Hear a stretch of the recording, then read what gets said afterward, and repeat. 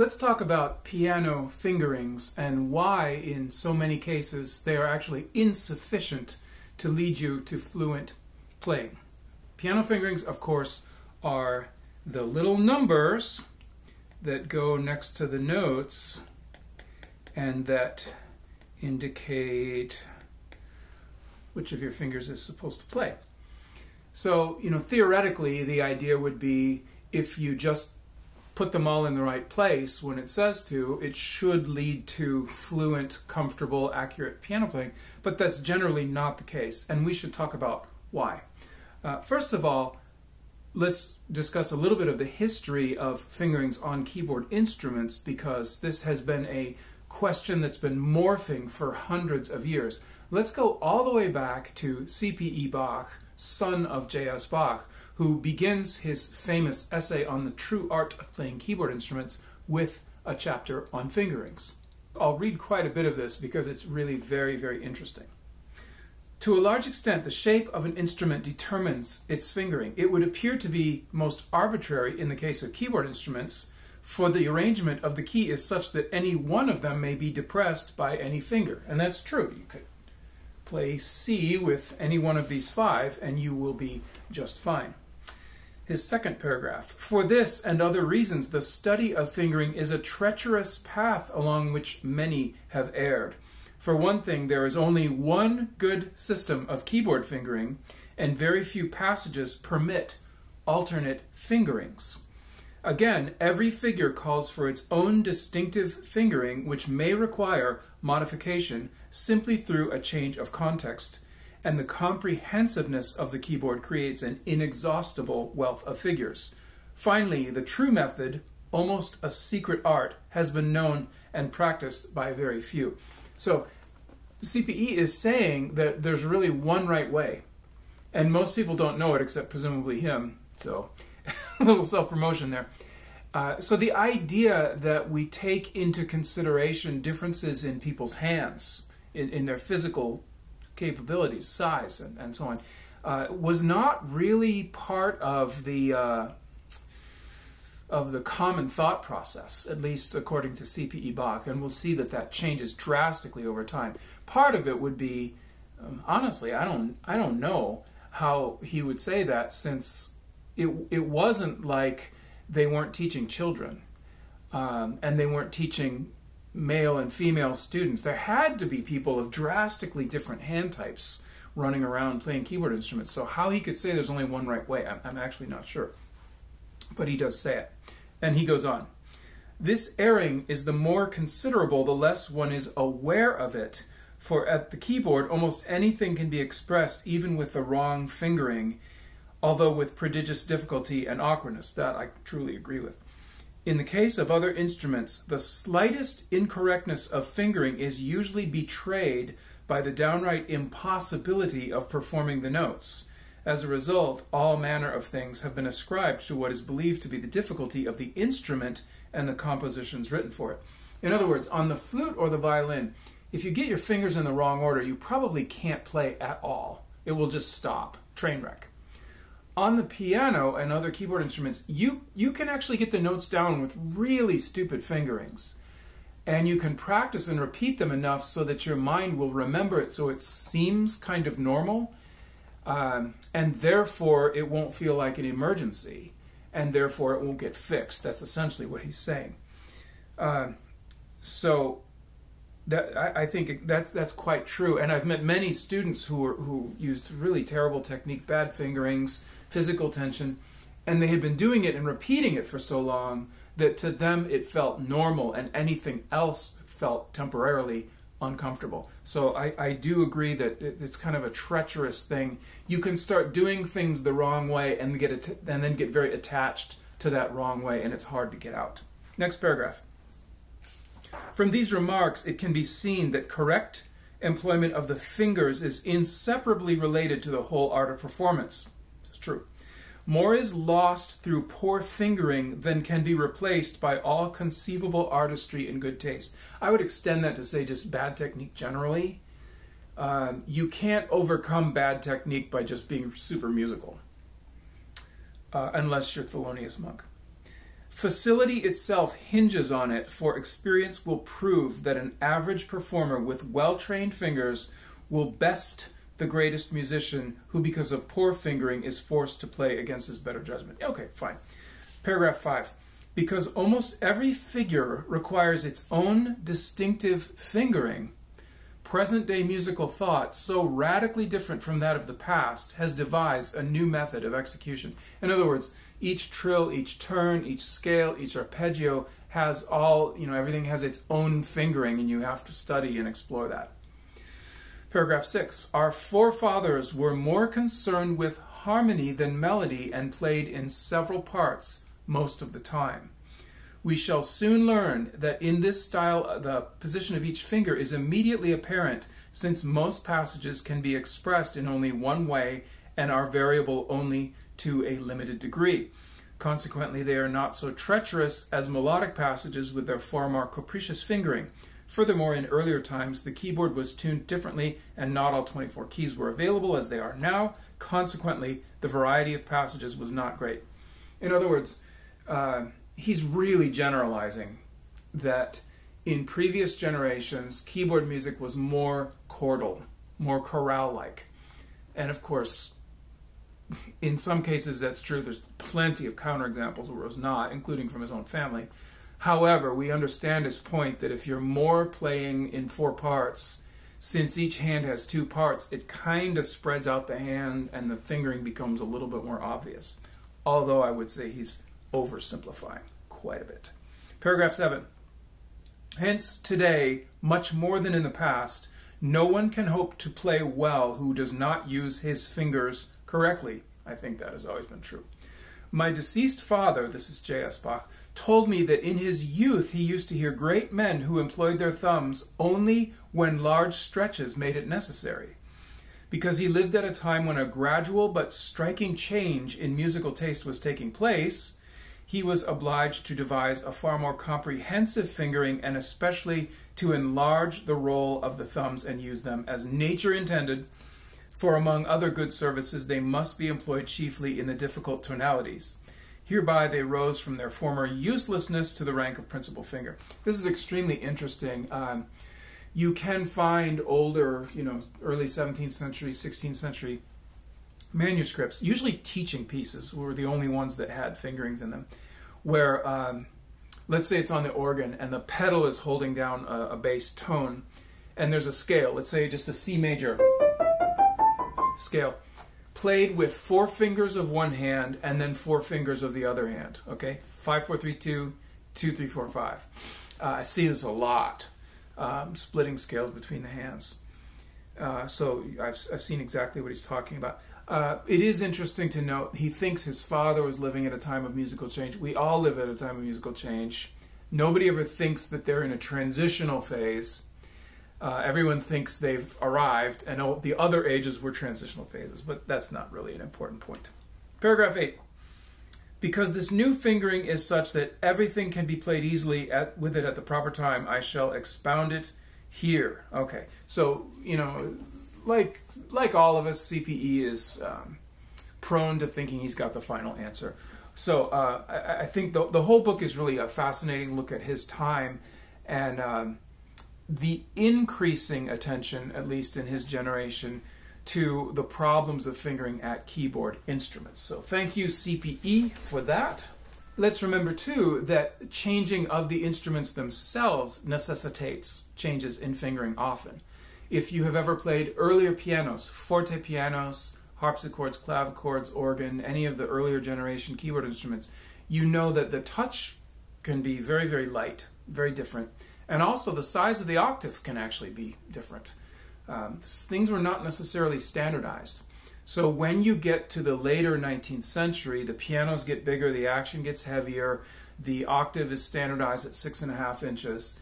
Um, some of the ways of moving physically that were taught in earlier times are not sufficient for a big monster instrument like this. So the instruments themselves have a huge effect on how we think about fingerings, as does the music.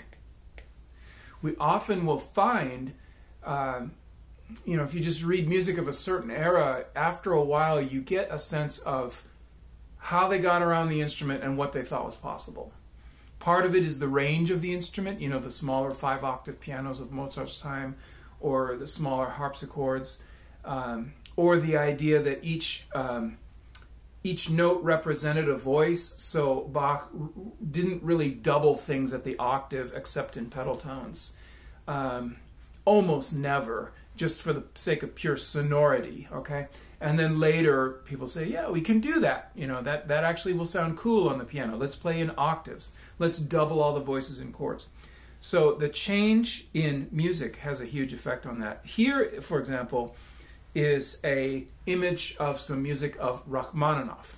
This is the B flat prelude from Opus 23, and of course, it's this famous roaring left hand part that's um, the big octaves are giant uh, Russian Orthodox church bells. And then, you know, just the roaring is him saying, Yeah, I've played the Revolutionary Etude and I'll, I'll, I'll raise you one. uh, so, you know, this kind of motion was clearly inconceivable in the time of C.P. Bach, both how to do it physically, but also the instrument wouldn't put up with it.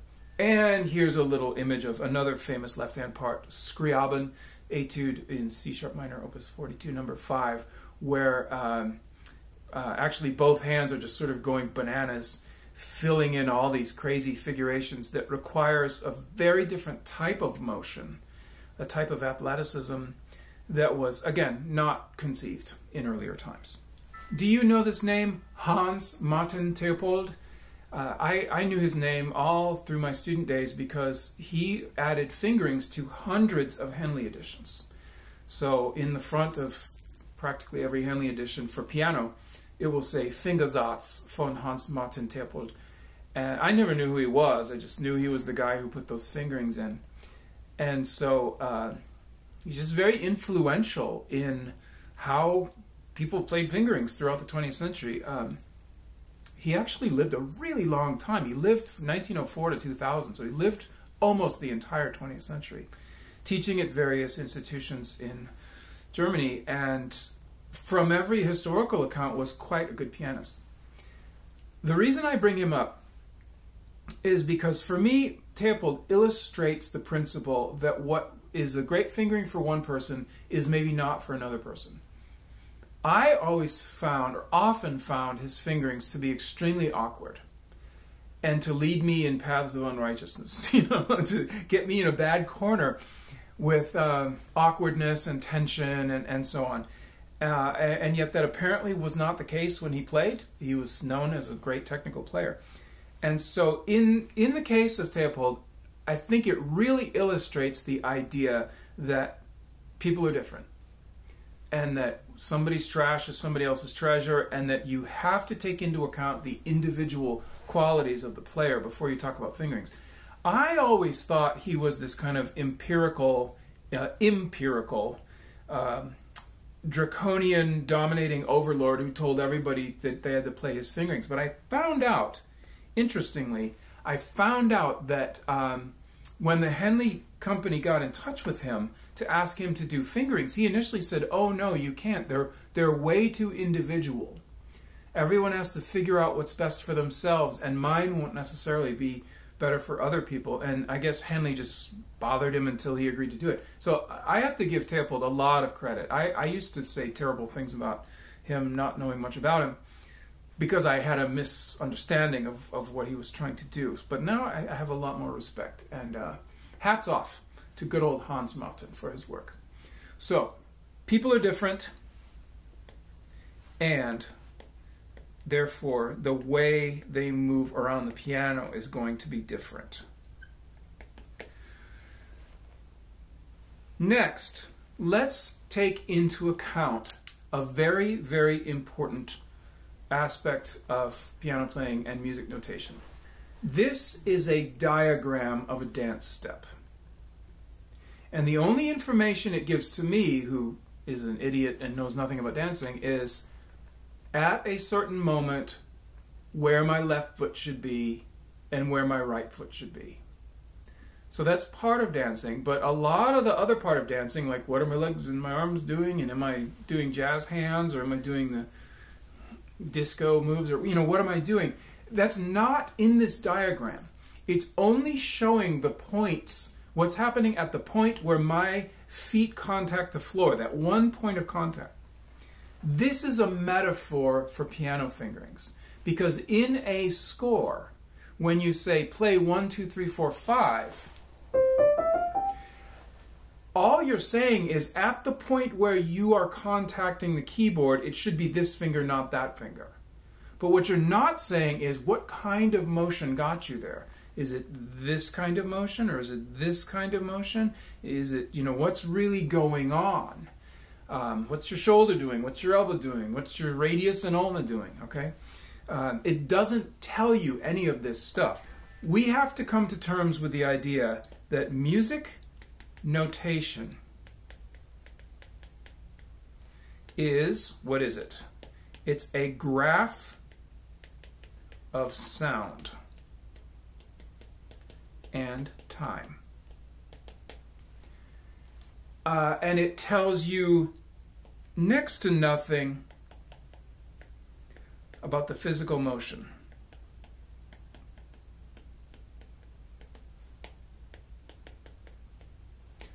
In other words, music scores are not instructions. They don't tell you what to do. They tell you, uh, here is a picture of the result you should get if you do it right. Okay, so fingerings don't show the motion of playing. And that is why, if you follow the fingerings, you don't get the whole picture. You don't necessarily understand how to do it because the whole way music notation has developed has left that out. Uh, so it's kind of a problem because the physical motion of playing is one of the most important parts, right? So the shoe print choreography is an example of that. It shows how you contact the floor, but not all the other stuff you're supposed to be doing to make it look like a good dance. Because I could do that shoe print thing, right? I could put my feet there and get it all correct and still be incredibly awkward. Just like I can play all of Hans Martin Theopold's fingerings and still be technically very awkward. There's more to the story that we don't have yet.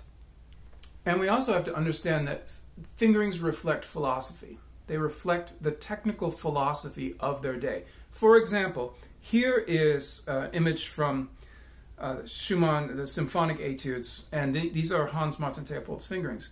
Notice the idea here that as I play, that as I come down and play the octave, I play the lower note with thumb, and then I need to go over to two. And presumably I'm playing two, five, two, five, two, five, two. And then when it's time to go back up, I have to get that thumb and go back and get that. What that shows is a commitment to the idea of finger legato. That you have to stay smooth and connected all the way through a passage like this and not let go of the piano. Of course, the crazy thing is that a passage like this with these tremolando B minor chords, that's going to be pedaled. And finger legato has no effect. Finger, finger legato is irrelevant because the pedal is keeping the dampers up, which is what finger legato is supposed to do. But there it is. And during this age, during this time, you would often hear people saying that you have to do finger legato even when it's pedaled because you can still hear the difference. That is patently false, it's demonstrably false, easily disprovable by anyone who understands logic. Okay? Yet, many great artists, otherwise excellent teachers, accomplished musicians, taught this kind of thing because it was just part of the philosophy of the age. It was part of kind of a mystical belief of the age. So that's another thing to look out for is that sometimes fingerings and other technical advice comes with some baggage of the time and it's great if we can get beyond that and just get some pure facts, okay? Finally, fingerings are really only part of the story. The rest of the story is what's happening with the hand, arm, shoulder, the kind of motion that comprises a full technique. And so I actually teach my students don't start with fingerings. You start with the other aspects of technique most specifically grouping. That comes first. Then, fingerings are often self evident with what you have to do. So, something as simple as the numbers 1, 2, 3, 4, 5 that are sprinkled all through our scores actually have kind of a fascinating history and a lot of uh, difficult questions to work through, and they are not the whole story.